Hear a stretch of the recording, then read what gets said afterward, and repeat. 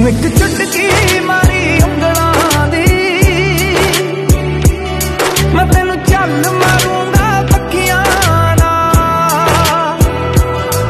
ਮੈਂ ਚੱਲ